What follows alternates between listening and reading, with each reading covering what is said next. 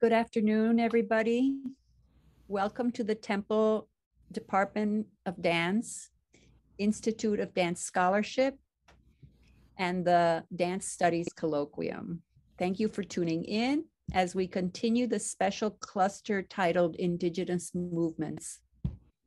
I want to also welcome the visit our visiting scholar in residence, Dr. Jane Gabriels, and Trinity Norwood, Caridad de la Luz, Ed Bourgeois, and Lindsay Delaronde for this panel titled Indigenous Artistic Residencies, a conversation with three artist curators about curatorial practices.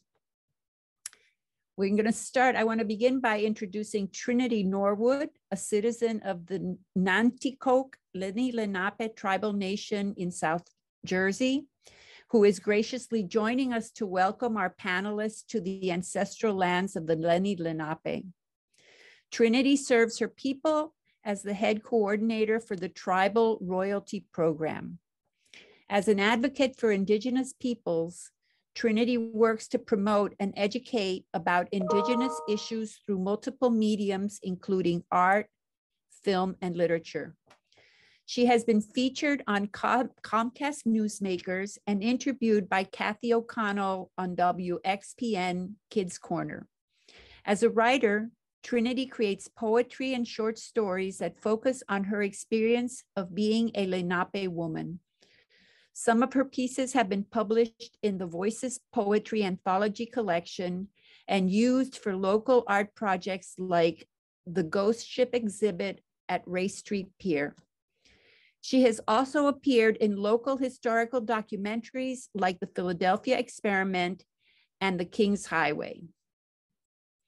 As a sophomore in college, Trinity got a request from her high school English teacher to speak to her classroom for American Indian History Month.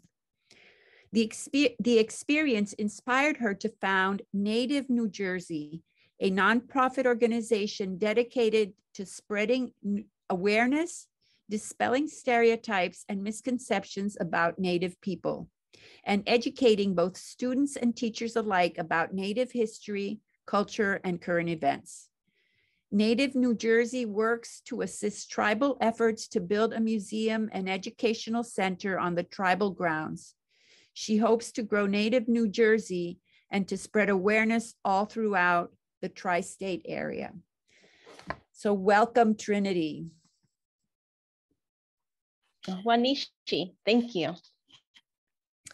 Uh, ita, Kwangomelo Humo, Eloensi, Welatanami Kekekwen. I greet you in the language of my ancestors. It is an honor to be here and to welcome you all today. Um, I am a citizen of the Nanticoke Lenni Lenape Nation, and our tribal headquarters are in South Jersey. Um, and although we are in a virtual space right now, um, Temple University and the city of Philadelphia is built um, on Lenape Hoking, the land of the Lenape, the ancestral land of my people. Um, I don't want to take up too much of your time because I am so looking forward to this panel, but I wanted to take a moment to say uh, Wanishi to all of you. Um, for a long time in our country's history, it was against the law for Indigenous people to congregate, speak our languages, and express our culture and traditions publicly. So to be in a space with such powerful Indigenous artists who boldly honor their traditions um, and express their indigeneity um, in their work um, is so inspiring to me. So Wanishi, to you. As opposed to writing a rigid and structured, um, welcoming, um, and going on a deep dive into the history of Lenape people, Lenape Hoking, um, I thought that it would be um, wonderful if we could all participate in a grounding exercise. Um, and this is something I've started to do a little bit more often. Um, in in virtual spaces because the world is in such a crazy place right now um, and we some people might be at work right now i am I might be at work right now um, some people might be in transit and just trying to listen in and uh, all of these things are going on and it can be so easy to forget that we need to stay grounded and, and, recognize that our foundation and our connection to this land is the thing that balances us out. Um, it is a, a, a, a Lenape tradition that when we make decisions, we think about how that decision affects all life for seven generations to come and the seven generations that came behind us. Um, and so when I participate in a grounding exercise, I think about how my actions for this day or this week or over the past few months have affected uh, Lenape Hoking, the land that I am on. Have I honored that land? Um, as well as have I honored my ancestors and my traditions and the people around me um, by creating a space where they can be open and creative and communicate with me in a time where a lot of people have spent so much time feeling isolated and unable to communicate. So if you will bear with me, we're going to do a grounding exercise. Um, if you would take a moment to breathe, perhaps close your eyes if that suits you. Maybe you've had a super busy day um, and you haven't taken a real breath all day. Um, maybe you are still in the middle of your super busy day and have so much more things to do and you're feeling a little overwhelmed. Um, maybe you had a relaxing day and you've been looking forward to uh, this conversation um, and, and listening to this panel all day. I want to say Wanishi, thank you for coming.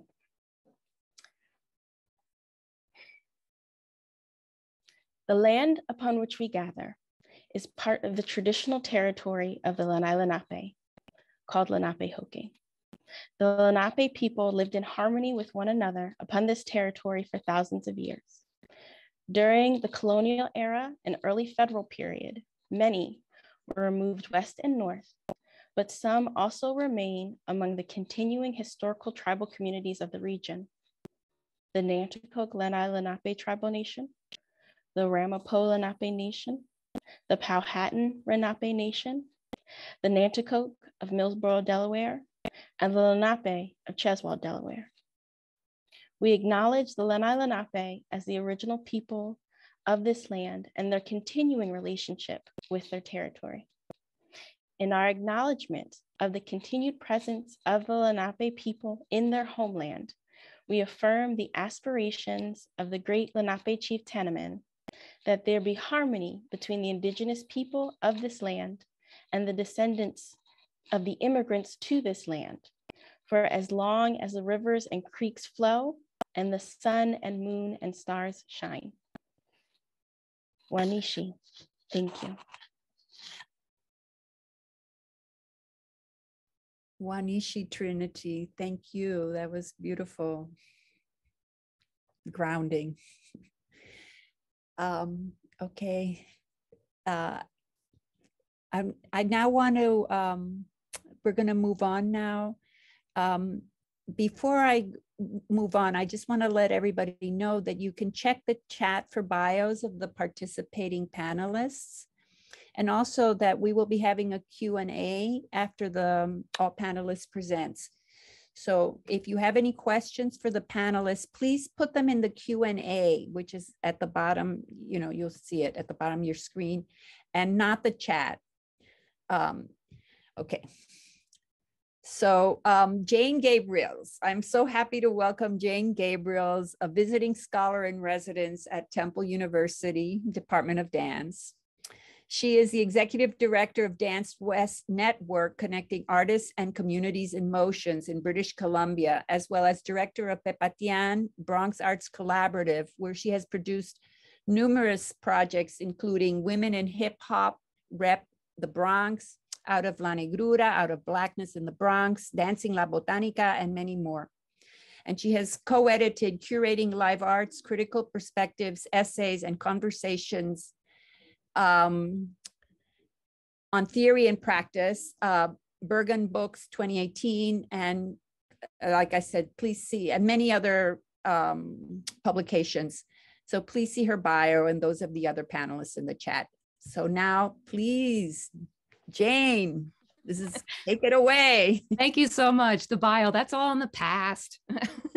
but I really want to thank you so much. Um, for this invitation. And thank you, Merián Soto, of course. And Trinity, thank you so much for sharing your thoughts today. It's really beautiful. It's a pleasure to meet you. Um, So I wrote out everything I want to say because uh, my nerves are going to kick in in about a second. Um, so yeah, I wanted to think about possible curatorial inventions that might change up residency experiences.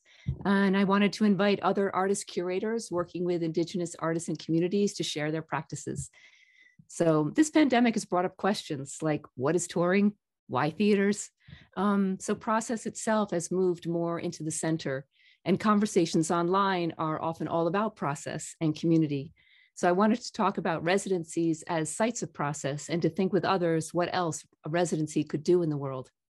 I was inspired by a conversation in November 2021 during the Dance in Vancouver platform with Margaret Grenier from BC and Charles Koroneho from New Zealand in their conversation about dance as an act of living in legacy, they talked about how giving and receiving between host and visiting artist is a place of woo, I lost my notes, reciprocity, and strengthening. We're going to play some video while I'm speaking. So, because we're so used to multitasking, we're bringing it into the experience. Um, right. And they were also talking about how to gather and how you meet and how you practice and is how and it is how you practice inclusivity Practice is intended to be there for one another. What energy is put into the practice to later be shared? How can we all emerge from a residency replenished? I'm going to put the link to that conversation in the chat as well, in case you want to look at it later. Um, and also a dance friend from Montreal, Karen Fennell asked, what is the value of dance when it is not performed in theater? How to engage with residencies for exploration and not to produce something, not building up to performance. Theaters are nice spaces too, not to knock them out completely, but works do not only have to be dependent upon them. We can turn again to dance as practice, to Merián Soto's performance practice, to branch dances in the park. In the Bronx, we think of the Cypher, the dance circle, of hip hop honed in community, its own residency, before the work ever reaches a stage. So in my work in the Bronx and Vancouver, residencies is a common thread. So this is the residency in the Bronx, and later you'll see residency artists from Vancouver. So I've worked at Pepatian in the Bronx, the ancestral lands of the Siwanoy Wikiskik, since 1999. There I organized residencies outside of New York for artists making work in the borough, like Antonio Ramos at Lexington Center for the Arts, Sita Frederick, Marian Ramirez, and Rokafella at Cornell University. In 2014, I started a residency in the Bronx to support emerging dance artists of color and or artists making work in the borough. This residency was inspired by conversations with artists like Merián, Mildred Tucker Concepcion, and Rokafella. And we were able to produce this residency, Dancing Futures, in collaboration with the beautiful BAD, Bronx Academy of Arts and Dance. At the heart of this mentorship, at the heart of this residency is mentorship the artist is asked to invite a mentor to give feedback and support their process. The mentor can be a peer, colleague, director, choreographer. Artists all receive free rehearsal space and performance opportunities with documentation. And along the way, I added other elements. In 2017, dance artists were invited to bring in a writer of color to accompany their work. Last year, we published a book with three years of essays, and I'll put that link in the chat. Um, let's see, we also, to help a few more Bronx-based artists, we offered resources to a small group who applied but who were not selected to help keep them encouraged and growing and applying again. This past year, artists needed to get out of New York and I organized a residency within this res residency at the Bethany Arts Community we have also been able to offer modest resources to residency project alumni, direct funds paying for workshops. One alumni artist, Fana Fraser, became more involved with the residency structure over the past couple of years. So basically, we've been building within the structure we set up, just keep replenishing. In the pandemic, of course, the format of this residency morphed in many positive directions. We had more time to offer each artist the experience that they needed to have. We didn't guide the residency as firmly in some ways. The artist needed this project and we needed to leave things open for them to access. We let go of some of the structure and let things, the projects, the artists, tell us what they needed next. And we had support from the funders. We want to build on this more open format in the next two years of our guaranteed funding from the Jerome Foundation and hopefully continue into the future. In its near decade of existence, this residency has helped artists amplify their creative voices and development. So then when I got a job on the lands of the Musqueam, Squamish, and tsleil nations in so-called Vancouver in 2018, at the then Made in BC Dance on Tour organization, which is now renamed Dance West Network. one of the first thing I, I, one of the first things I started was a residency project for BIPOC dance artists. It had a similar format, surprise, as the Bronx residency, and included mentors and writers invited by the artists. In Vancouver, we were able to offer all the artists who applied some resources. Now, at its third annual year, we're adding support for digital explorations. In 2021, I was able to start a residency in Northern BC, a more rural area with its different needs, challenges, and pacing. I wanted to think about the kind of work that is happening in these two very, very different places, the Bronx and BC, which brought me to think more about residencies as a landing site for this conversation. I invited artist curators I have been meeting who focus on Indigenous artists and communities and who don't really know each other that well already. This is also part of my practice I'm learning of community building and of sharing and moving knowledge across and around North America or Turtle Island. I wanted to learn more about their curatorial practices and ideas about residency creation to think about ways in which residencies are changing and or how they become how they could become different experiences for artists and for hosts. I'm also curious about how a residency is a practice for creative living. What does the work and what do artists need to evolve from a residency experience? Is the space held by both visiting guest artists and host? Is the residency indoors and or out of doors? Is it a place separate and away from home, or can it be at home? Is it intergenerational? Is it relationship building with or within a community? In my creative work, I've been thinking about levitation, which came from a sensation I was having as I kept one foot in the Bronx, working with collaborators there, and started a new life in Vancouver. In this shifting of place, different things were growing that fed each other, and I felt slightly suspended from these energies meeting in my practices. So today's conversation is a continuation of that levitation. As Merián will say, the dance of the future, which was from Pepon Osorio's mentor, Clemente Soto Velez. Um, yeah, dance of the future is levitation. So, and in this conversation might bring you also into that sensation as we move from West to East Coast. I've been working with Caridad de la Luz since the early 2000s and Lindsay for the past couple of years in Vancouver and have been in conversation with Ed more recently so we are each in very different places of creating residencies for artists. So I wanted to welcome you to today's conversation about how curatorial, curatorial practices invent themselves. Um, and each speaker will have about eight to 10 minutes. And after each one, the other speakers will share a few words or sentence about whatever caught their attention in that presentation. And then we'll see you after at the Q&A. Um, I said all that really fast. I hope you're all okay. I got revved up. Um, there are three questions that I began with, and I'll put those in the chat. And um, I'm going to put those in the chat right now so you have them. And the first person I'd like to introduce, I hope that was okay. It was a lot to take in all the dance at the same time, but we're so used to multi-layering. I thought, let's do it. Um, so the first speaker that I'm so happy to announce is Lindsay Delaronde. Um, and I'm going to, I have a very short thing to say. I don't know if I have all the pronunciation. Hi.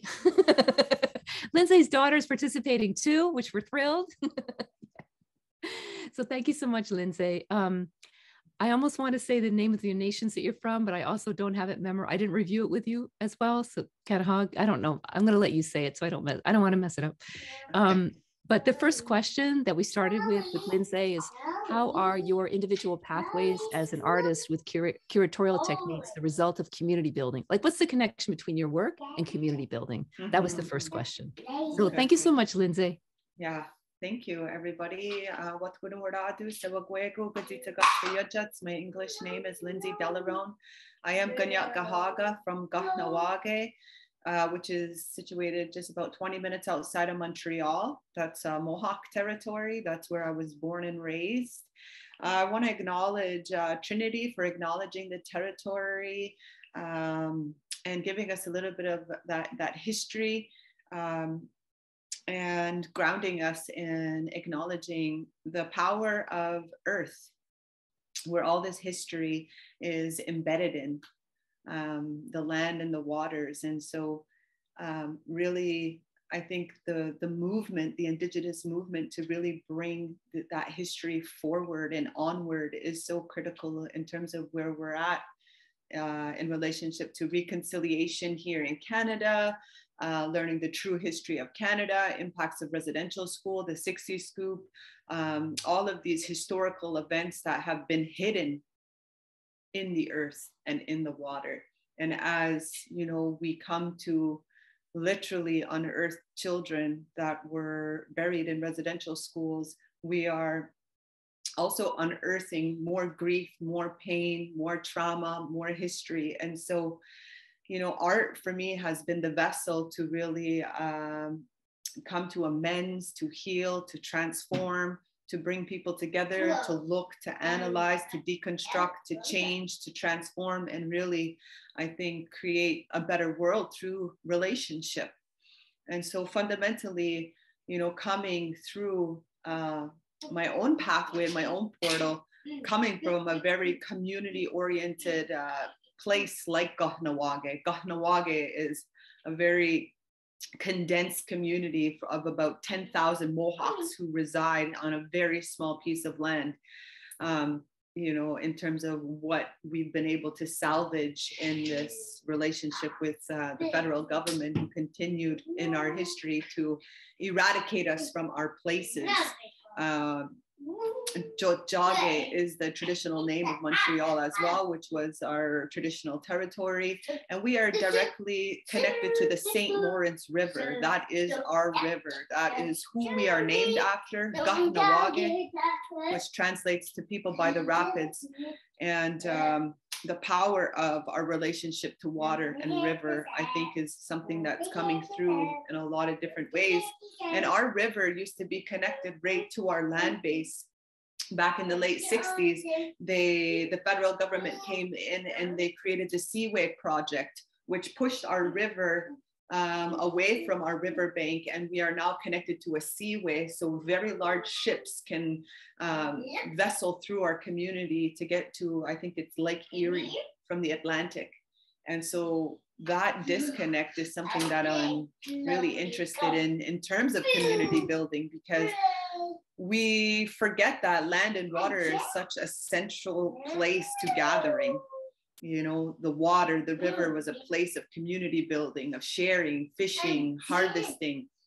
And so when you take away those embodied practices of culture and sustainability and food and harvest um, you know for me that's where dance is so powerful. You you're able to revitalize um, you know these ways of moving and these ways of thinking that are really grounded in indigenous epistemologies. and so fundamentally i work that way. I work with indigenous knowledges. I revive indigenous knowledges um, and really coming to terms with contemporary practice as well and knowing that the traditional and contemporary practices are so much cyclical.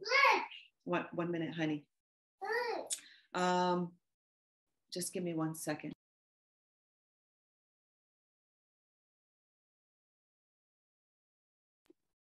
um, so yeah, I just wanted to kind of start off with that. And um, in terms of my my my place of my birth, you know, that's sort of the worldview that I that I carry. And so everywhere I go in the world, I carry those values of deep relationship, uh, respecting that I am a guest on other people's territory, wanting to, you know, um, learn about the history of places and spaces that I go. And so when I moved to British Columbia, uh, I lived in Vancouver for a couple of years, and then I've been residing on the Lekwungen territory, Victoria, British Columbia, for the last um, 15 years or so.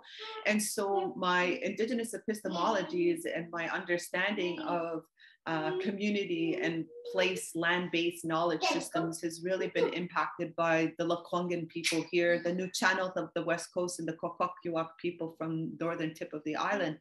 And so, you know, there's an expansive knowledge systems all at play that now reside within my body. And so I really like to acknowledge that, that the knowledge isn't from me. The knowledge is an accumulation of all of these knowledge systems that my body has interacted with. I've collaborated for many years with many different artists.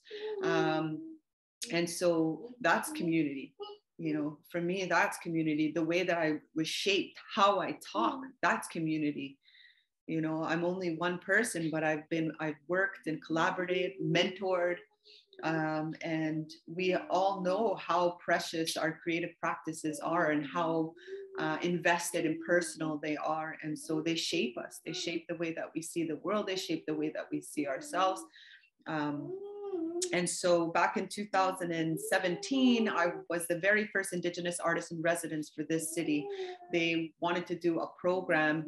It was marked under the year of reconciliation. And so they have a public committee that formed this residency for an artist to come and make art really focus on civic engagement. And so the two years that i became the artist in residence there there was many challenges. City hall is not an indigenous um, you know centralized space that functions with indigenous epistemologies. Um, you know a city hall is not an arts-based organization or institution that can really um, know how in the beginning stages of developing these programs really know how to function as um, or really know how to collaborate with artists in that sense. And so the, city of Victoria since then has grown a lot in terms of artist engagement, civic engagement. And so the, the possibilities of residencies that are centralized in cities that have an indigenous person there, I think is a very powerful um, a powerful position to have. They were only supposed to run this program one year and then extended it to two and they were going to close this program. And I had said, at a at a public artist talk. I said they're going to close down this uh, artist in residence for an indigenous person. The whole city came together and advocated for that to be a permanent position uh, in the city of Victoria. So residencies could be powerful that way. So I just wanted to share that for anybody who's listening and thinking through, you know, these ideas of um, residencies for cities and what that looks like. Um, I know they just started one in Edmonton as well. So when I left the artist in residence uh, after two years, I was really invested in site specific site specific performance art in indigenous theater. I developed a relationship with the Belfry Theater here in Victoria, and we are four years into creating indigenous theater here in Victoria, British Columbia, that does not exist here. There is very little cultural spaces. There are very little places where cultural revitalization is at the heart of um, institutions and organizations. And so um, that development is also in process in terms of my relationship to other artists, engaging, you know, and working with uh, theater here in Victoria. In 2019, I really took that uh, reflection and that gap and I started a collective called the Visible Bodies Collective. Dance Victoria is a, um, a dance institution here who uh, developed the relationship back in 2017 for rehearsal spaces for earlier Indigenous theater productions. And so Stephen White, who was the executive director there at the time, he said, Lindsay, he's like, I'm going to give you more space. So for the last three years, Dance Victoria has, uh, we've been in residence at Dance Victoria uh, with resource support, studio support, um, the option option of filming our work and helping us archive our process has been critical. And in that time, in the three years that we've developed this residency, it's grown from four Indigenous women to about 13 BIPOC uh, women. And so there's people from the African Black diaspora, uh, from Brazil, um, a lot of mixed coming in from different cultures, uh, even settler identities, and really about embracing a residency space that offers a circle where we all belong trying to develop a practice that is inclusive, that is intercultural, um, is really, I think, the focus and using our bodies as the main vehicle of addressing social political issues, embracing and celebrating our indigeneity, our global indigeneity, and really coming together to think through creatively how do we work collaboratively with these complex identities coming together. So that's where we're at today. And I wanted to share um, our last piece that we did last summer called Mother Tongue. And it's about the vibration of the earth and how language developed from the earth. We all came from different um, language origins. And so a lot of us have been also disconnected from our language of origin through the residential school migration, uh, disconnect from land community. And so mother tongue is about the connecting back to the earth and its land vibrations and really about the reclamation of the female body through this relationship of of learning language again and announcing those phonetics and embodying those sounds um, so I'll share a little bit about that. So I wanted to say that in terms of residencies is the longevity of them. So not just short spurts of here you get your studio for three weeks, but there's something to be said and had. As I was mentioning, the residency for a city, this residency in the dance um, institutions, the longevity of it, it really allows legacy and growth to happen. So I just want to say that for anybody who's thinking through in terms of residencies. Um, and I'm almost at my time, so I'm just going to share the last bit of mother tongue, and uh, and then that will be that. Yeah, yeah, yeah. I had two of them. Oh gosh, which one should I play? Okay, I'll play mother tongue.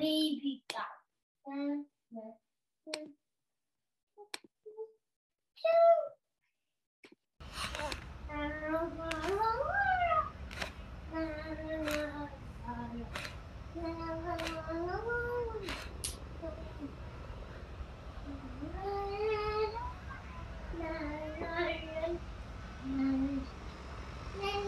got pissed.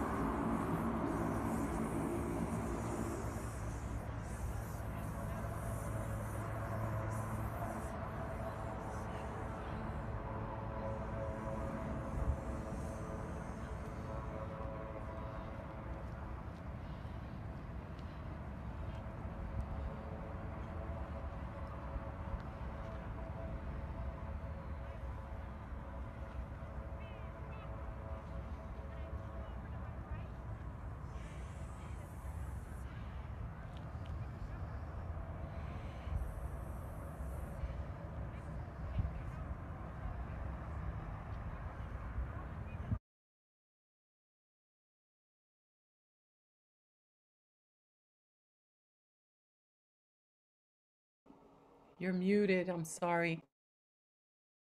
Thank you.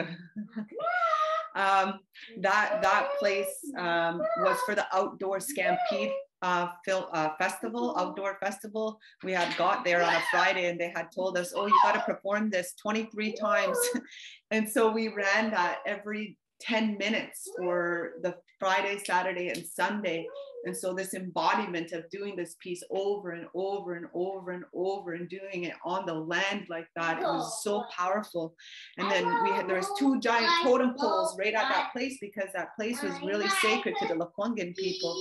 It was uh it, I don't I forget the native name of it, but it translated to like uh where they cradle, where they make a cradle board and these elders had come together and they created these poles to signify uh, language revitalization. So we didn't even know that when we brought that piece over there, the power of place-based knowledge systems that are directly aligned with the artistic vision, I think can be really powerful too, because they assert that um, indigenous people's presence and knowledge systems are deeply, deeply ingrained in the ecology, in the waters, in the land, in the stars, in the trees. That is so much a part, I think, of acknowledging when you are not from that place. Um, and so that's the where my heart sits when I when I'm a guest here, when I'm a visitor here. My children are from different nations as well, and so as a Mohawk woman, it's really pivotal for me to maintain the respect for myself and the integrity to my own indigenous knowledge systems and be present and uh, mindful and open to, to receiving and witnessing um, other indigenous people's practice. So with that, I'll close and just say Nyawakoa for your time. Thank you so much. I'm telling you, it's a good thing we are recording this because we're all going to have to re-listen to it again. There's so much knowledge. It's like, wait, I got to get trying to. Um, let's just. I'm going to put Lindsay's bio in the chat, so we have that there. And I wanted to ask, I wanted to invite Ed or Caridad to maybe share a word or a phrase that kind of stood out to you from Lindsay's um, present like presentation. I felt it was very moving that they were dancing at the totem poles, you know, that and their movement and what they were doing, like that it connected. I love that. Thank you, Caridad. I got my vacuum cleaner. It also strikes me that um, being on the land in a place that we think is um, silent, we're distracted by so silence is impossible anymore. I find myself hearing the the the, the helicopter Yeah. and hearing the the trucks drive by, mm-hmm. but then also being aware, and, and I think we, if we listen with all of our senses, we see the the the squirrel that was on the fence behind you when you were talking, the birds flying through the video, all of the other communication that's happening, and we're stuck on one thing. I- I'd like to thank you for having your daughter with you Yeah. because it's a really important thing um, that you know it was only when Richard Wagner turned down the lights and insisted that we all be silent in the theater uh, that that that idea of what performance is became our standard. And yet this is what community is. This is what uh, in in indigenous communities you should be ready for a child to walk across the stage in the middle of your mm-hmm. performance hmm. or i- i- and that is a part oh, of the total experience just mm-hmm. like all of these other relatives these other animals that are that are around us and listening and watching and and communicating um, is part of the community the community that we strive for Nice. Yeah, thank you, Ed. Thank you so much. I just, yeah, I love the, I was just thinking about vibration when you mentioned that earth vibration. I've been thinking about that. Yeah, check out Lindsay's new website. it's brand new. It's very exciting. um, yeah, thank you so much again. That was really beautiful. And I will be listening to this recording. Um, I wanted to, next up is Caridad de la Luz, and I put her bio in the chat. I'm getting better at this. Um, and Caridad is based in the Bronx, but I'm going to let her introduce herself as she likes. And thank you so much for being here, everybody. Thank you. Thank you. Thank you, Dr. Jane Gabriels, who has supported my work, you know, for just about two decades now. Um, my name is Caridad de la Luz. That's my given name. My Taino name is Gachianao. It means sunflower of the sacred mountain. Uh, I am a Taino woman. Um, my family was displaced by colonization on the island of what you know as Puerto Rico. Uh, in Taino, it is Boriquen. And I'm the first generation born here in the United States. I am presently living and, uh, well, all of my life, I'm born, raised, and live on uh, what are the territorial lands of the Siwanoy. Um, this area in particular is called Soundview in the Bronx, um, but it was called Snakapins. It was the land between two waters. And um, I only learned that this was the name and that it was Siwanoy uh, people that lived here within the last three years that I learned this, though I've lived here my entire life. And the way that I got to that point was um, as I continued to search about my Taino people and um, in doing gatherings here in New York City um, of Taino people, that led me to um, when I, I applied for a grant uh, for the Jerome Hill Artist Fellowship and I won it. And using that money, I was able to travel to British Columbia, to Vancouver, and to Haida Gwaii. Uh, thanks to Jane Gabriels, uh, we went together and I learned protocol and practices of the Haida people and saw the similarities and traditions that um, are in the Taino. And uh, that led me to a name, led me to another thing, which was, you know, all connected. But before getting to that point, I started performing poetry. I'm a spoken word artist, that is my foundation.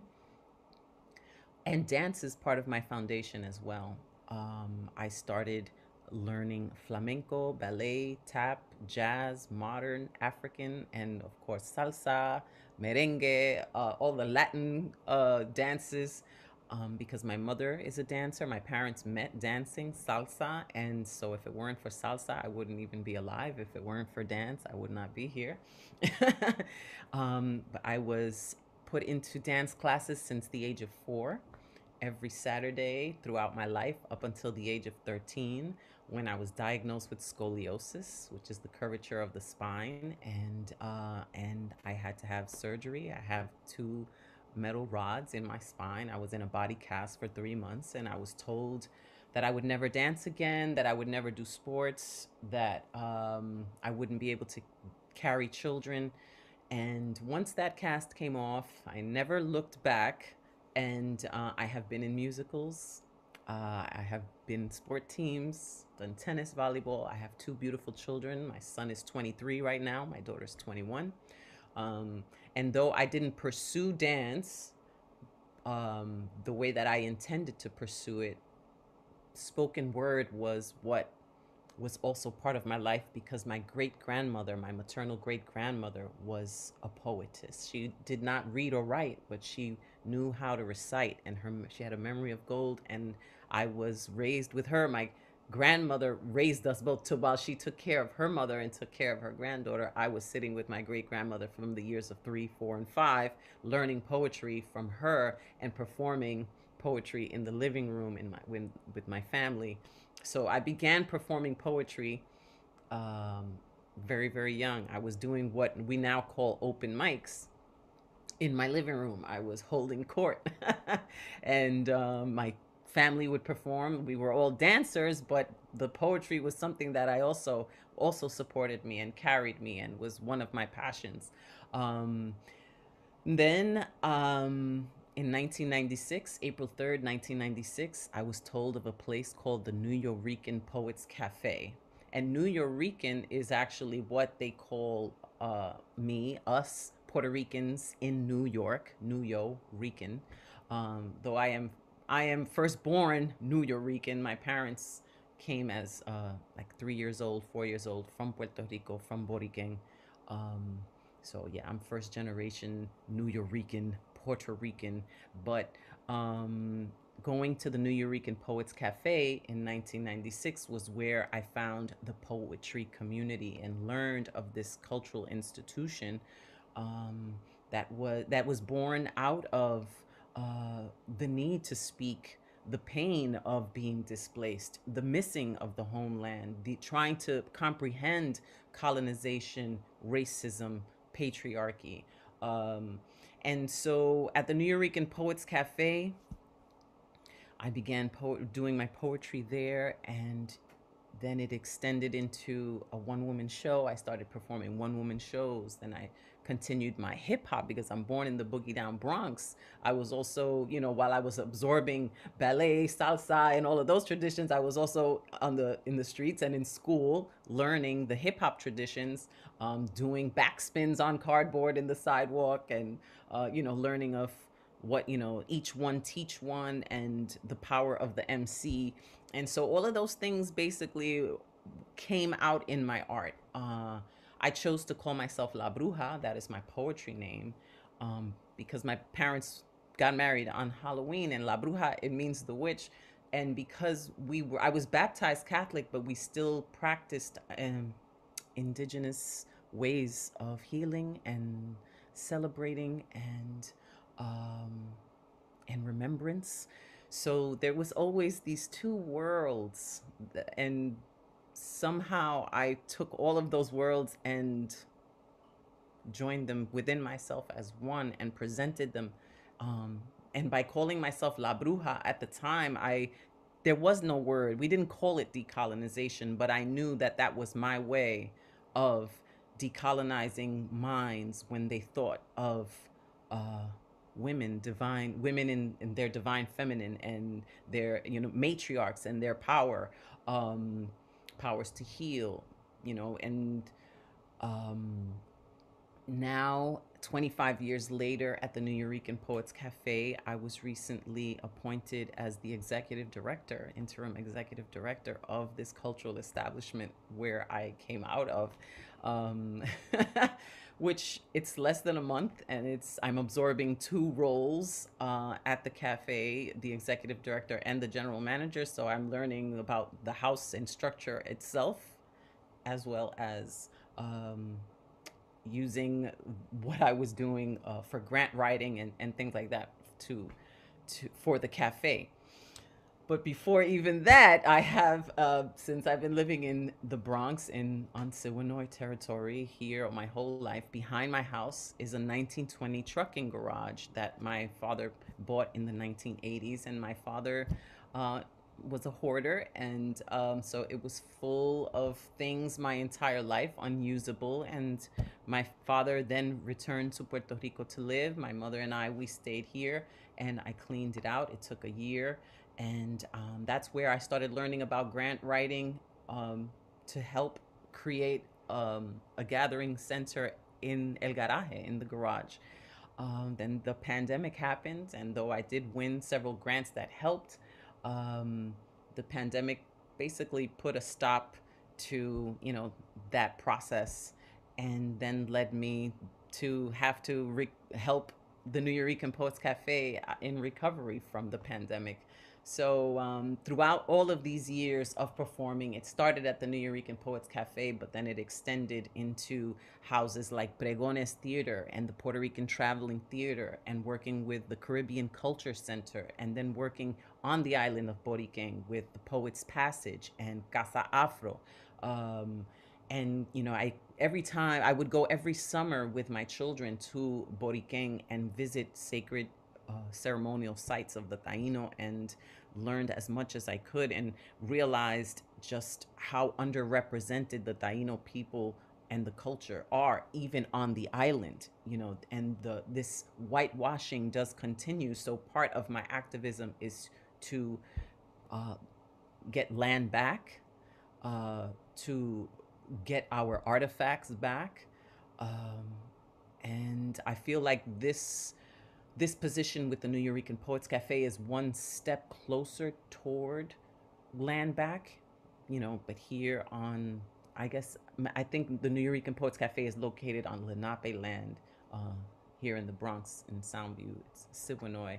Um, but I'm looking to extend and be able to return back and to Boriquen. And I'm hoping to regain somehow El Yunque, which is the, the, the rainforest, which has just been bought. Um, I somehow, with all of these communities uh, and this work, you know, intend and am creating awareness. Um, but it's all one step at a time. And being invited to perform my poetry and to perform monologues and to perform and speak um, throughout these 25 years has expanded uh, my reach and my community. Um, but it, it still continues. Here uh, on in Snakapins in the Bronx, we had already begun in conjunction with Dr. Jane Gabriels and Pepatian, uh, indigenous gatherings, yearly indigenous gatherings. And we had already done, I believe, two before I went to Haida Gwaii. When I went to Haida Gwaii uh, was when I returned learning that where we were doing the gatherings was actually a Siwanoy village with 70 wigwams and that, you know, like an archaeological site in the 1900s my like I, we are on like literally on not just another area in the bronx like literally. It said leland avenue and i am on leland avenue um, so the first video that i would like to share with you was about to, it's it's one year old it's almost two years old after learning that this was uh siwanoy t- territory and uh, wanting to um, bring awareness to that fact and awareness of the indigenous people of the Bronx and how the river itself was, you know, what connected us over time. Um, this was a video that I made, and um, this was before what it is. I will show you, you know, where we got to do the next thing. And this is Clason Point, the place that I've always come to when I want to be close to the river. For the Siwanoy, this was a place of bubbling activity. During the warm season, they would come here and collect clams and fish. This was where they had a huge resource of food. And this is the other place we would like to acknowledge the Siwanoy and possibly put a placard or a bench or some artistic monument in memory of that Native American history.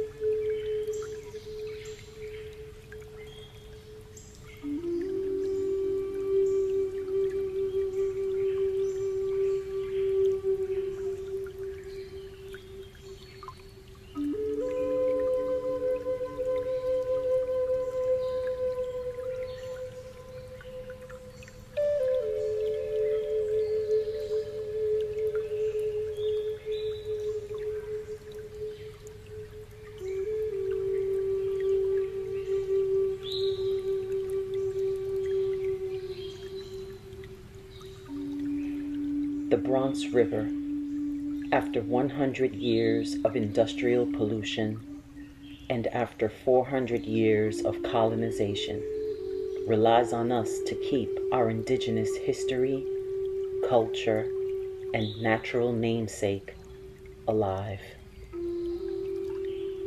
Organizations Pepatian, Pregones Theater, and the Bronx River Alliance have come together in support of the work being done by Roderick Bell, Cynthia Paniagua, Mario Figueroa, and myself. To better understand the importance of the history, the culture, and the river itself, one must become one with all three.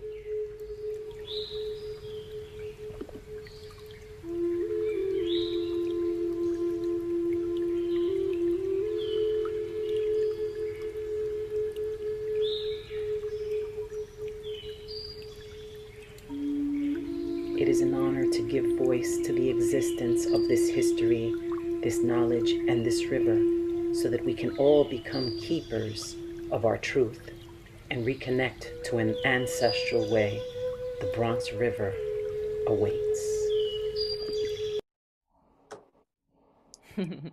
so that video was actually my first um, documentary video because during the pandemic I started making videos. Um, and that was my first, and it is on YouTube, Bronx Indigenous.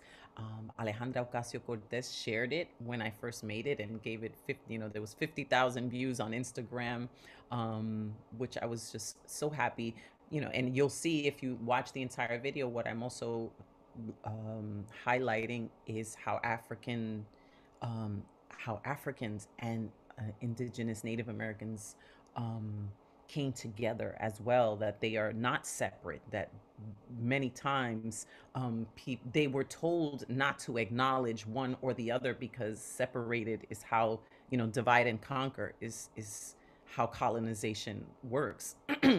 what I learned also is that dance was you know, though with the, with a, you know ballet teaching and all the structural and theater teachings, what I learned really that dance is ceremonial. It is a way to connect. It is with spirit. It's how to exercise the spirit. It's how to acknowledge ancestors. So dance has a much bigger uh, uh, strength than it's even you know given.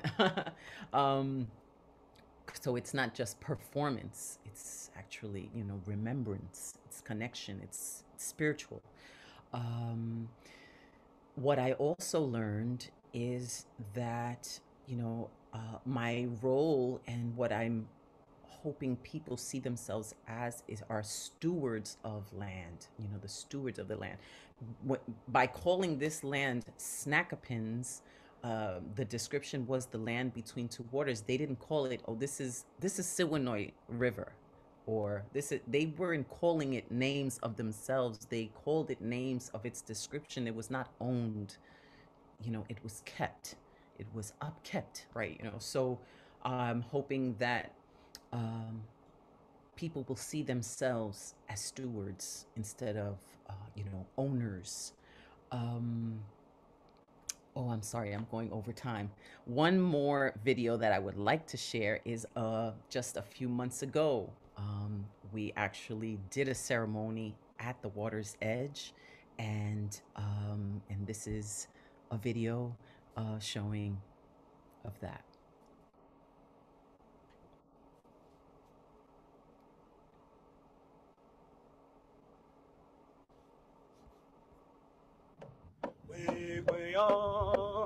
Yo, on, ho, way,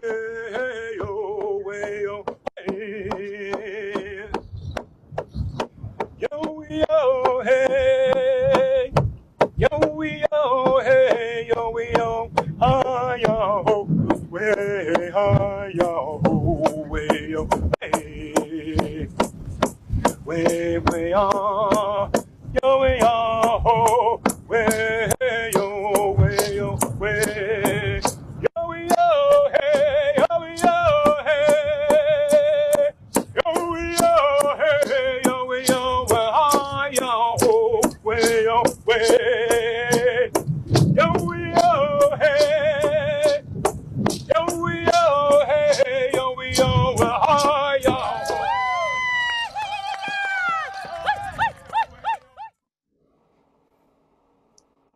Thank you. That's great. Thank you so much, Caridad. I put in the chat like some links to different things that Caridad mentioned. So you can take a look. Um, I wanted to ask Lindsay and Ed if what what kind of word or phrase that kind of came to you. Oh my God, a lot. I'll just say so. I'll just, but uh, this um, occupying territory. Yeah, just give me one minute. Um, this occupying territory, like being on the land, engaging with the land, it really is about the assertion of the steward, this relationship. I love that.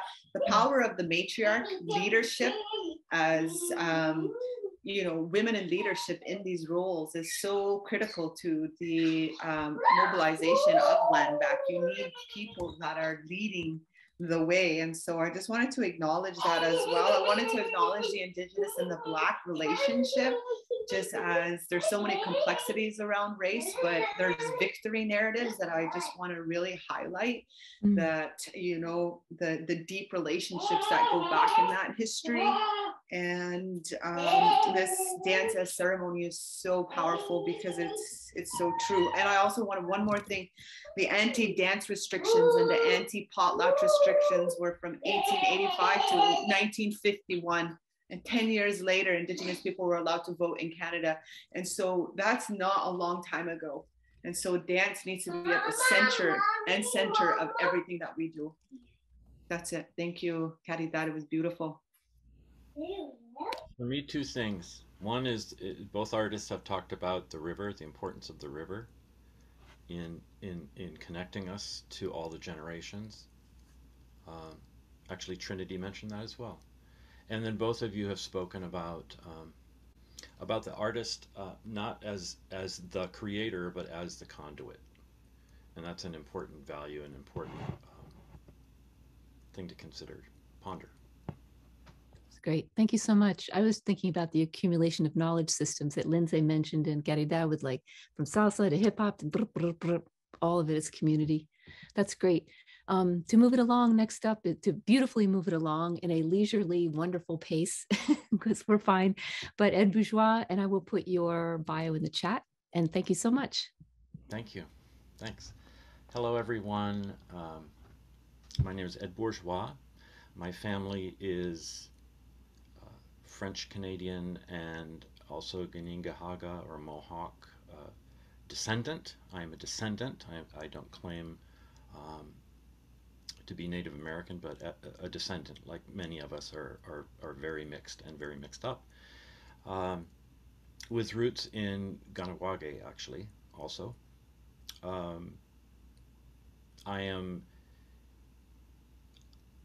one of those people who never lived in community uh, for various reasons that I won't go into, but never lived in community. And um, a lot of us in Canada and the United States, what are now called Canada and the United States, are uh, are, are, living with that um, with with that being taken away, that that removal, um, and and its its effect on the generations beyond.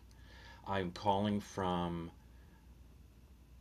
traditional homelands of bands of Chinook, Cathlamet, Clackamas, Multnomah, Tualatin, Kalapuya, and Molalla peoples from the confluence of the Columbia River and the Willamette River in what is now called Portland, Oregon.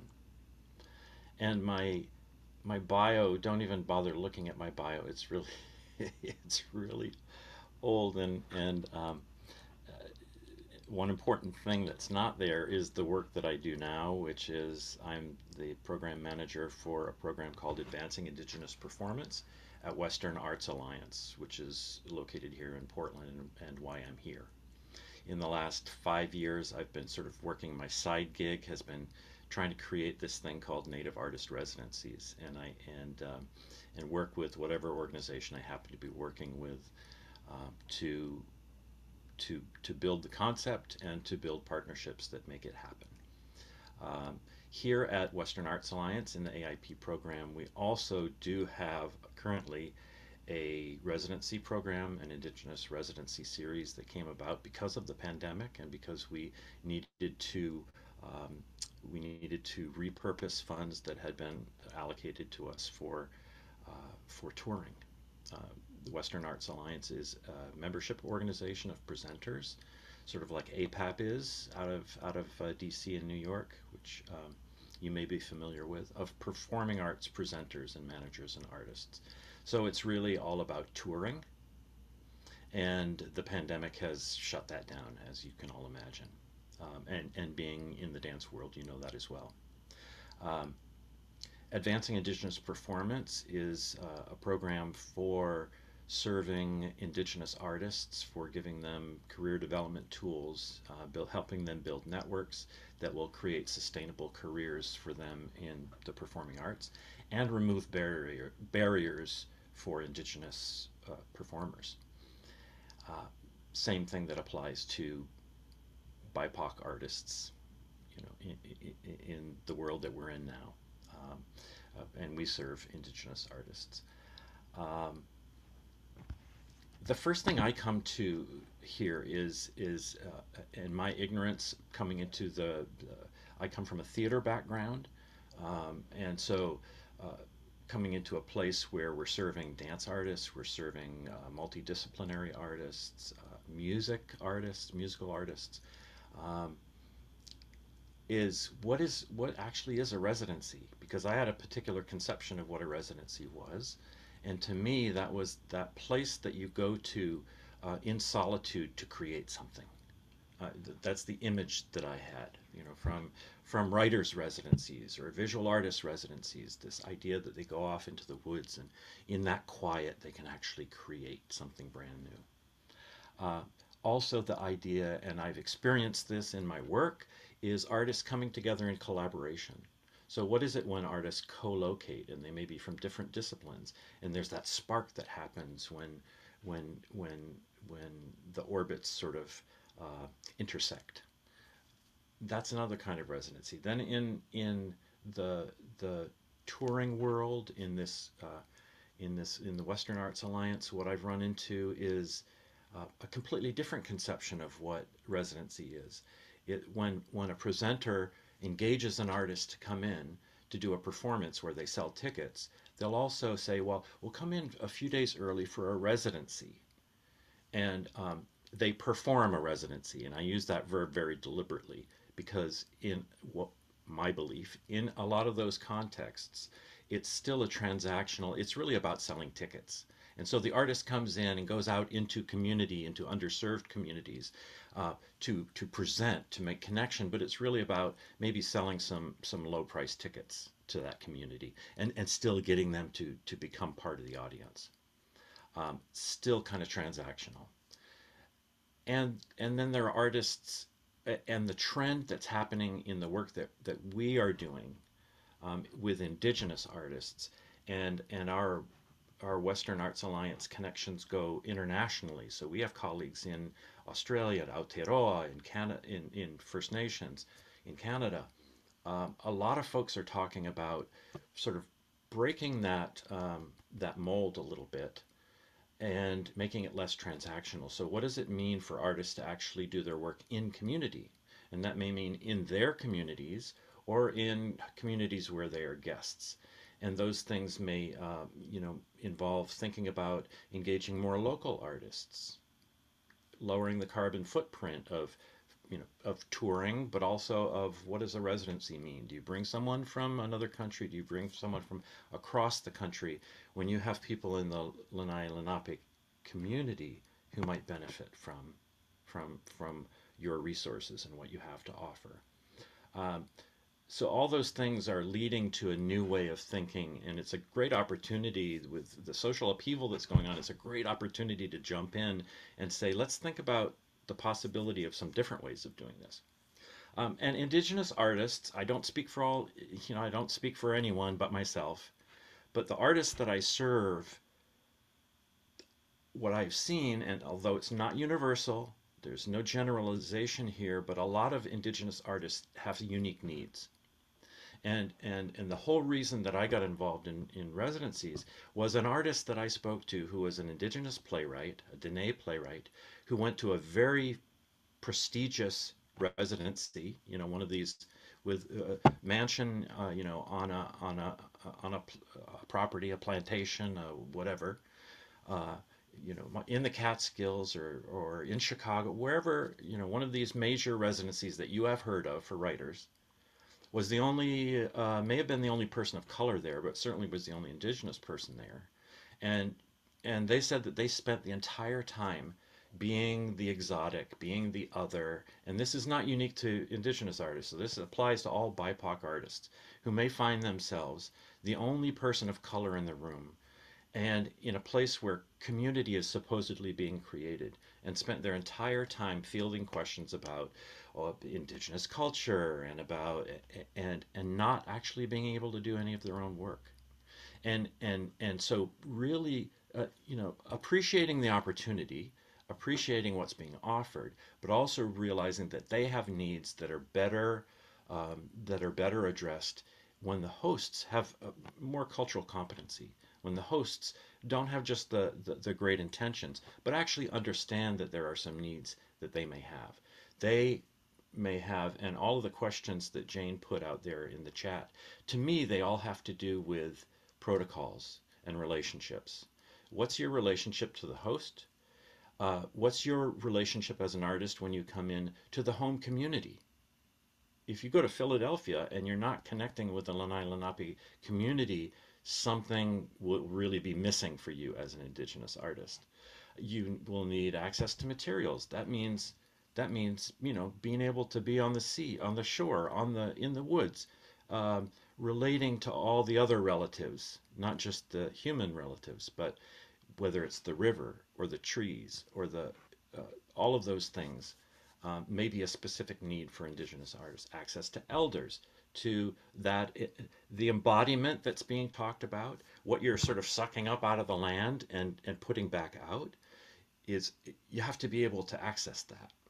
Uh, and and again not a generalization. That's not to say that indigenous artists won't once in a while want to you know there will be artists that want uh, you know uh, uh a solo experience in a loft in isolation or somewhere in a lighthouse where no one bothers them yeah we're all we're all different. But as a rule some of the values that guide indigenous artists need to be addressed. Um, if you would let's let's show uh, the pilot that we were able to do for um, a, a pilot for native artist residencies occurred in 2019 just before the the pandemic. And this is the sort of model that we were hoping to, um, to talk about.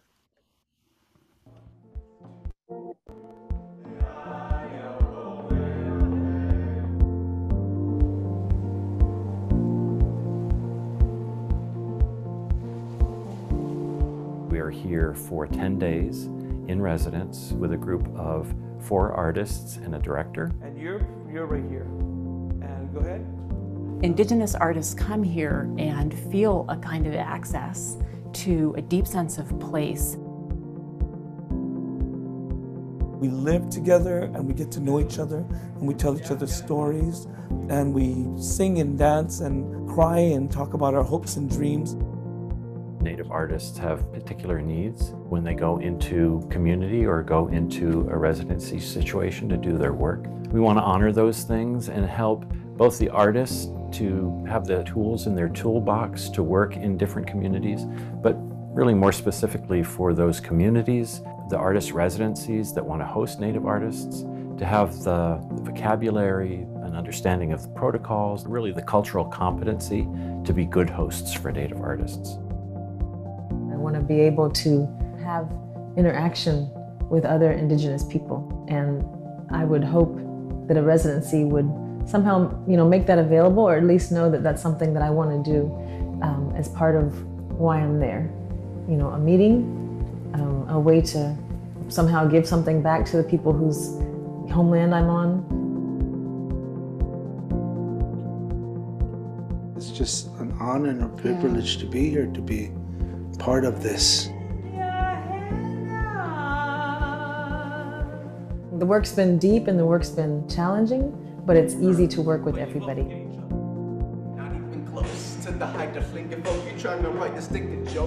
The things that we are exploring in this pilot are preparing an organization's board and staff with what we call cultural competency training.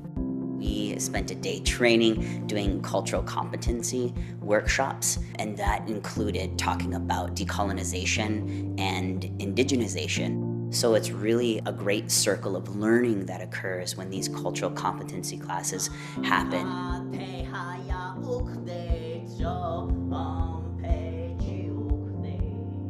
Doing that training, building those relationships, establishing a groundwork sets the artist that then comes in, sets them up to really have a good experience. In the process of doing this work with artists and learning more about land acknowledgement and the deep importance of place in supporting artists' work, it's transforming our organization. We essentially realize these opportunities to really strengthen our networks, to know our stories and to share our stories.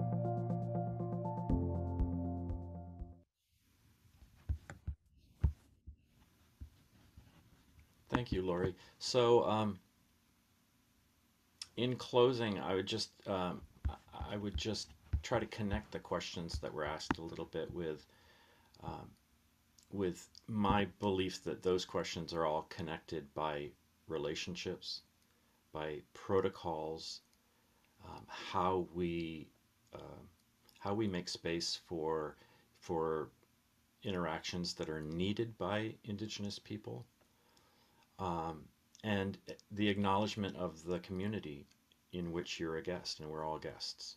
Uh, the Asia Freeman in that in that little video just said uh, that land acknowledgement and working with land has transformed the organization. It's really about the acknowledgement of those things that has transformed their organization and, and can tr transform any presenting or any residency organization.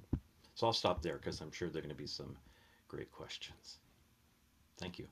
Thank you so much. That was great. We're we have 15 minutes. We're good. Um, I want to thank you so much, Ed. And just very quickly, Lindsay or Caridad, just one word or something that came to you listening to Ed's presentation.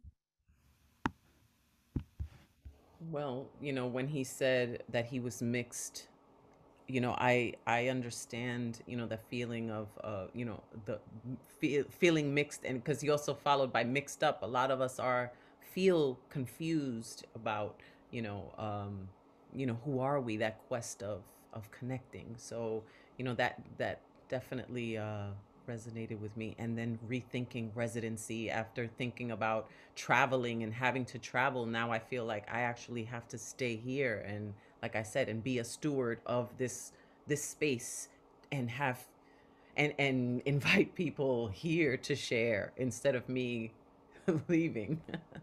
so just rethinking. Yeah, thanks. Uh, thank you, Ed. Um, I think the conversation really uh, addressed a critical question that I think a lot of hosts need to ask themselves in terms of what are these bar- barriers, right? What is the relationship? What is the protocols? What is the relationship to the local territory and the stewards of that land? Um, really trying to think through as organization, a nonprofit, an institution, an individual residency creator, whatever it is. I think looking through the lens of dismantling the pre-existing structure that is uh, perpetuates white supremacy, um, exclusion of people of color, um, and the perpetuating of, I think, mostly of marginalized communities in relationship to engaging with dance, dancers, performing arts. Um, and I think residencies that think through these um, really critical questions um, the imagery that I saw in your video was so powerful because it shows the diversity, it shows range, it shows different color, different bodies, different ages. And so when we could create atmospheres and creative atmospheres that allows for multiple truths to be heard, seen, felt, and witnessed, I think is very powerful. And you've inspired me to create a residency that looks like that, mm-hmm. feels like that. Mm-hmm. Yeah. So thank you. Yeah. Thank you so much. Yeah, that was beautiful. Um, oh, that's nice. So Julie Fingerish wrote, these presentations have been beautiful and fascinating. Thanks so much for the work that you do. Oh, she asked a question. What kind of support do you seek from the general public for your work? That's a big open question, but that's a nice one. That's a juicy one. if you could have anything, you could choose one thing. What okay, just a recent experience. So the residency at Dance Victoria does an event called Rough Cuts. So they invite all of the residencies who are in residency to show a 10 minute either clip of a piece they're working on, a process that they're working on. And so the collective, the Visible Bodies Collective, shared a 10 minute performance, mainly improvised from some exercises that we did in some uh, previous sessions and then we created sort of a framework for that but they had offered in terms of this rough cut structure the invitation for audience to give any type of feedback um, about the work. It doesn't really translate though in that context because you know how Q and A's work right after the performance, and then they get you to speak, and then everybody's like, you know, kind of in that place of not knowing how to share or what to share, but it was really beautiful because we had a young person in the audience. They might have been 13 years old.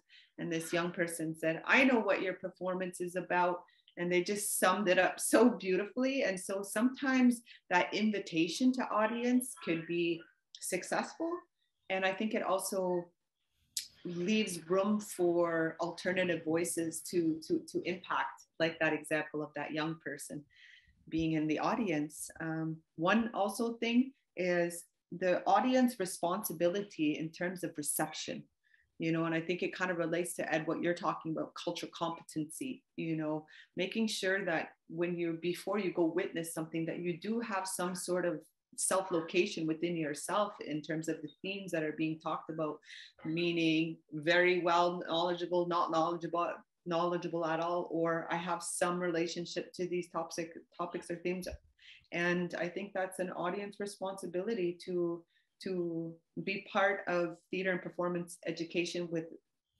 with a component of education. Just yeah there's a lot to say but i'll stop there. I agree with that completely. I think that the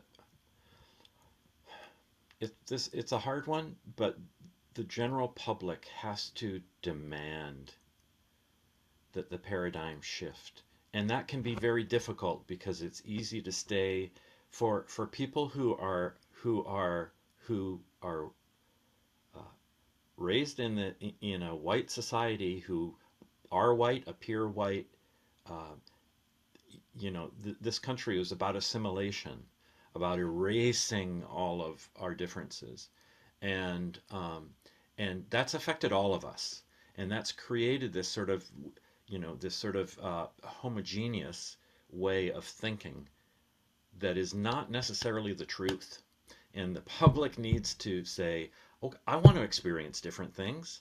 I want to challenge the way I may have been educated or raised um, life could be pretty interesting to find out what other pe- how other people are. You know, uh, how people who actually have preserved the earth for thousands of years um, may have some advice about climate, the climate crisis, right?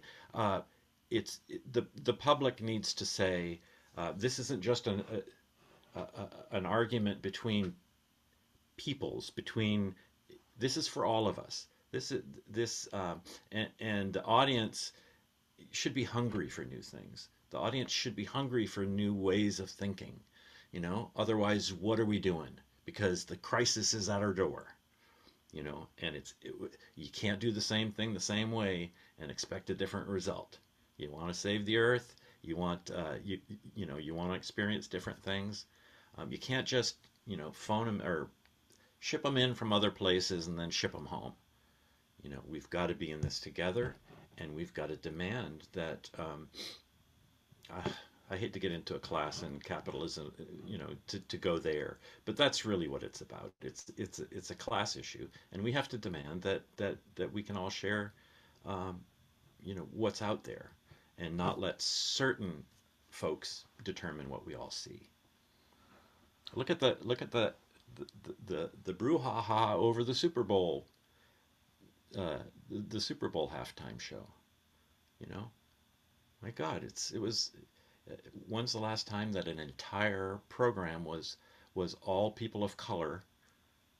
Uh, and for how many years did those people of color wonder where are we? Where are we here? So just just put on the other shoe. Just put on the other shoe and and and and experience life, all of life. Well, what was interesting about that is that then the one white rapper took the knee. You know, he, we need allyship. We need allies.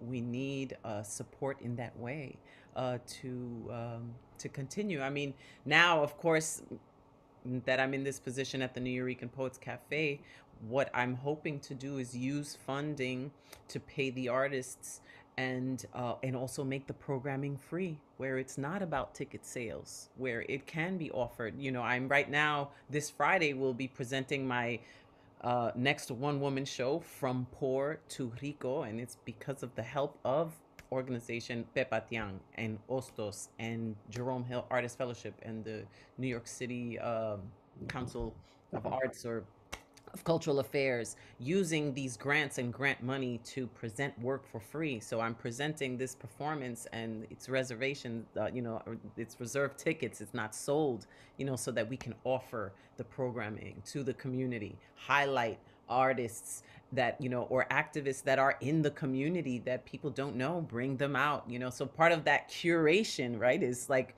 and doing the community work realizing who like i just learned today about tiffany and and the lenape um, connection in new jersey which is very close. I didn't know that it exists. So even this moment helped expand my community and my outreach and who I will speak to and who I will call upon and you know to help further the work so um, you know and if you want to make a financial contribution to pepatian you know visit pepatian.org these organizations that are doing tremendous work nuyorican.org slash contribute so that we can do this programming pay you know pay these artists activists to do the work and and provide it for free Thank you so much. I'm quickly trying to like put chats and like links and chats and everything. Um, gosh, there's so much. Uh, there was something in the Q and A. Merián, did you? Oh, there you are. Excellent. Hi, hi. Thank you so much. This was this has been really wonderful. Um, so there's something in the Q and A from Jan Hanvik. I don't know if it's so much a question, but it. It's um, it says uh, the Panzingo Ecology Center and Artist Residency in San Juan Nuevo Parangari Parangaricutiro, Michoacan, Mexico, with whom I have a 30-year relationship, is 100% an initiative of the Purhépecha people who are still largely in control of their ancestral lands and waters. Their definition of the essential point about how it works is that artists apply with a project. A, comisio- a comisariado of 12 Purhépecha decides whether the soul of the project fits with the soul of Panzingo. Then it goes ahead or not. For example, the residency idea went ahead. Installation of Wi-Fi is not going ahead. Hello, old friends, Jane, Merián, and Ed, and new friends. So I don't know if anybody, if you want to say something to Jan. Well, I would like to say I I I loved that they're looking for the soul in the project. You know, um, moving forward with the Nuyorican Poets Cafe, uh, what I would like to do is, you know, maintain um, that it be a cultural institution that we don't just put what whoever can afford to rent out the stage. That's how it's been in the past. I want to make sure that every performance and everything that we bring and house in in the Nuyorican Poets Cafe is in alignment with the mission of the founders of the cafe, with in alignment with uh, you know indigenous indigeneity, uh, blackness, celebrating those cultures. Um, and the LGBTQ uh, community, the Two Spirit. Um, so, yeah, really curating what is brought by uh, acknowledging the soul. I love that, and you know that that is certainly my intention. Jan.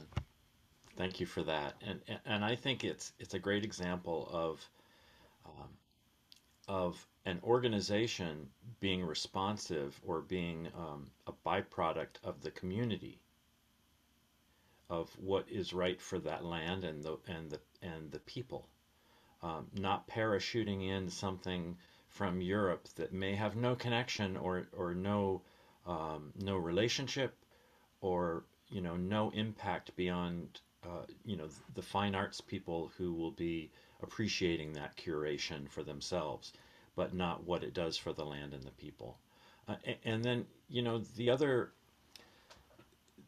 an extension of the other question about what can the public do, what can organizations do? Um, organizations who do not have this connection, it's really hard work. It can be it can be really hard work, but you have to make yourself open to to creating a relationship. And then and then very often what's happening for large institutions which have been well funded and don't necessarily have these relationships, it's about um, giving up power. So mm. if you have you have a building, you have a venue, you have resources, you have all of these things. Uh, don't bring in BIPOC artists and curate what they do. Bring them in and give them the resources, give them the space, give them give them funding. Go for it. Do what you will, and and and curate it yourself, or your community curate it, and see what happens. Because that's uh, you know we're all blessed to to to have whatever funding that we have and, and that's a system that we've all learned to negotiate. But uh, sharing that can be a really, really powerful beginning. Thank you, Ed. I was just, I was thinking about precisely that, like what cultural competencies does do hosts of Native American artists or other people what do they need to um, develop? And I think you have just answered part of it, you know, giving up the power and letting them, um, giving access to resources, I think is a really important point. Um, I think um, it's four o'clock, so I think we kind of have to um, wrap it up. Um, I want to thank all of the panelists and also Trinity uh, for her wonderful welcome and grounding. Um, and Jane, especially for bringing us all together. And, um, you know, Temple Dance Department is definitely wanting to learn from you. So thank you for your what for sharing. Um, let's see, is there anything else here in the, uh, okay. So I want to thank, you know, everybody. Now here's the hugs and and thanks, and uh, hopefully we will see you all again. Oh, one more thing. I want to make a plug. I make a plug. We have one more, um, one more um, a panel, uh, not panel, but a colloquium in this series. Um, uh, it's um, migrating dance archetypes, circumnavigating the Gulf of Mexico with Anita Gonzalez in on March 8th. So please tune in for that. And um, yes, uh, thank you audience for being with us. And we'll see you next time. right on, Merián. Woohoo! Thank you so it. much, everybody. Bye, Have Lindsay. a good day. Bye, Bye, everyone. It was amazing. Thank you.